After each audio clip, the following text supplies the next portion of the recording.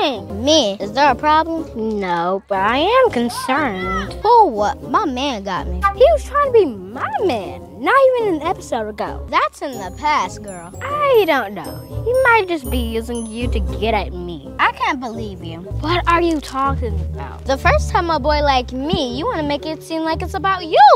No, I'm just trying to have your back. No, you're just a hater like daddy. Take that back. And daddy ain't hating on you because you can't drive a car. I should have known you were jealous. You tripping.